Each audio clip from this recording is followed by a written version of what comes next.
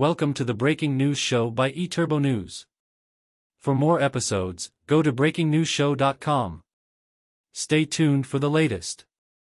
Saudi Arabia strengthens tourism education and training.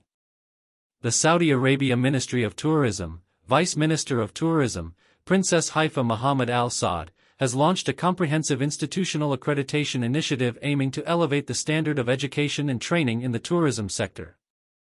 Focus will be placed on boosting the effectiveness of educational programs and aligning them more closely with the needs of the labor market in the kingdom's tourism sector, said the release. Princess Haifa said that the launch of this initiative is an important step toward ensuring the success of the ministry's efforts. She added that the initiative, the largest in the world, involves assessing the quality of 102 national tourism education and training programs throughout 2024.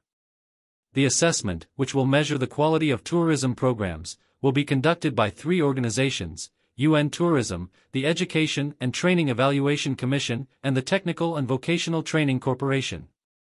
The initiative aims to enable tourism education and training institutions supported by the Ministry of Tourism to earn international and local accreditations and professional certificates. The Vice Minister stressed that the initiative aims to achieve several goals.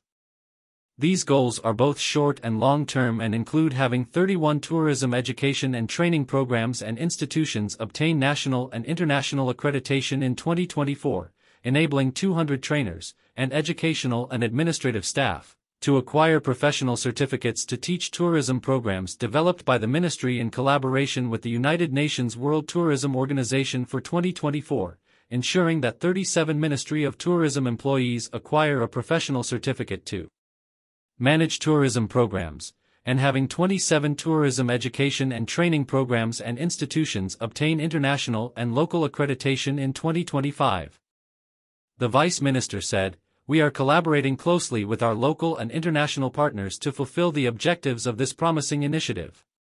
This effort will raise the competitiveness of the tourism labor market, enhance the kingdom's status as a premier global tourism destination, develop the skills of industry workers, and present them with exceptional job opportunities. The ministry noted that in June 2024, under the Aloha initiative, it initiated the Tourism National Occupational Skills Standards in the tourism sector, in both Arabic and English. It marked the first national effort to establish specialized professional standards to improve the quality of tourism education and training outcomes and bridge the gap between supply and demand in the field. eturbonews.com. Thank you for listening. Watch and listen to more episodes on breakingnewsshow.com.